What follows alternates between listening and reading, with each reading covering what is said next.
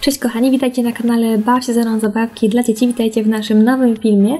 Ostatnio pokazywałam Wam e, piłeczkę odstresowującą i został mi, została mi po niej taka siateczka, e, bo ona była tylko opakowaniem, e, nie była częścią piłeczki, także pomyślałam, że skoro mam taką dodatkową siateczkę, to dzisiaj stworzymy sobie na kanale piłeczkę odstresowującą. Zrobimy ją sami z tego, co mamy tutaj w studio i mam tutaj balon, napełnię go glutkiem zielonym. E, powinniście już ten glutek kojarzyć. E, mieliśmy mnóstwo filmów, w, którym, e, w których on był.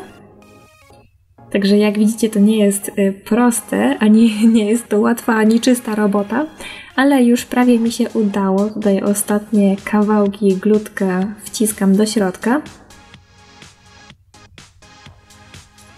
Jeszcze trochę mi zostało, zbieram resztki z dłoni, i już prawie udało mi się do środka.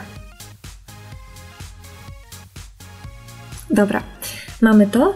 No i teraz yy, glutek już spłynął tam na dno, a teraz dodam jeszcze trochę wody, ale niezbyt dużo, tylko tyle, żeby ten balon pasował do siateczki. I teraz muszę zrobić y, supeł Muszę po prostu ten balon zawiązać. I wyobrażam sobie, że skoro ten glutek był taki bardziej płynny, to w środku pomieszał się z tą wodą i mamy taką fajną mm, mieszankę wody z glutkiem. W dotyku jest mm, przekonana, że to jest ta konsystencja, y, o którą nam chodziło, że nadaje się taki balon z glutkiem i wodą na piłeczkę antystresową. I teraz musimy go schować do tej siateczki I teraz musimy siateczkę zaszyć. Mam e, tutaj właśnie niteczkę, kawałek włóczki i teraz muszę ją poprzetykać przez oczka tej siateczki. Czyli raz e, do środka, raz na zewnątrz. Przetykam, zobaczcie, tak jakbym szyła e, igłą z nitką. Trochę mi to zajmie, ale zrobię dla Was przyspieszenie.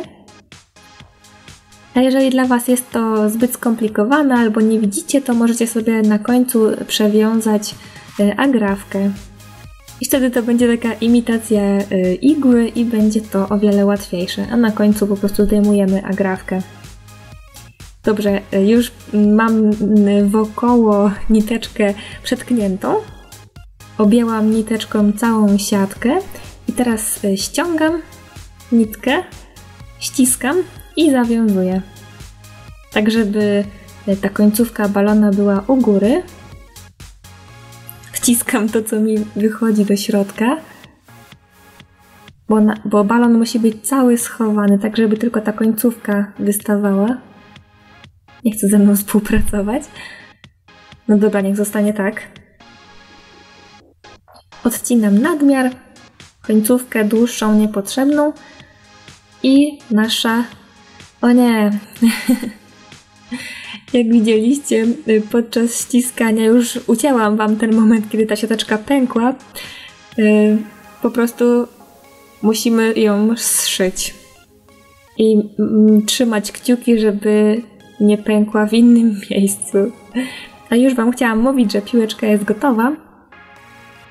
Dobra, Mamy tutaj małą dziurkę, mam nadzieję, że nie popęka mi w kolejnych miejscach. Tędy nam wyskakuje taki bąbelek. Sprawdzam, czy... Bo właśnie... O nie, no tego się bałam, widzicie? Hmm. Także ta piłeczka, ta, ta siateczka nie jest odpowiednia do robienia piłeczki odstresowującej. Tutaj działa bardzo dobrze, jest ten bąbelek, o który nam chodziło. I tutaj też nam y, ten bąbelek wyskakuje, ale siateczka będzie pewnie pękała ciągle w nowym miejscu. Hmm. Bo chciałam właśnie stworzyć piłeczkę Squeezy Meshball, którą mm, powinniście znać z kanału, która właśnie oryginalna jest schowana piłeczka w takiej siatce i mm, przez te oczka siateczki wychodzą kolorowe bąbelki. No to jest to, co udało mi się dzisiaj dla Was stworzyć. Ten balon jest odpowiedni, wszystko tutaj jest w porządku. Myślę, że po prostu bym musiała poszukać lepszej siateczki. A tak już się cieszyłam, że wykorzystam opakowanie po y, poprzedniej piłeczce y, antystresowej. I tutaj widzimy, że kiedy te bąbelki wychodzą, to widzimy też zielony glutek, także jest ten efekt zmiany koloru odrobinę widoczny. Także nie jestem do końca zadowolona, bo nie tak to miało wyglądać, chociaż można ją ściskać, dałoby się tutaj zrelaksować, ale nie wygląda to zbyt ładnie, te dziury trochę mnie denerwują.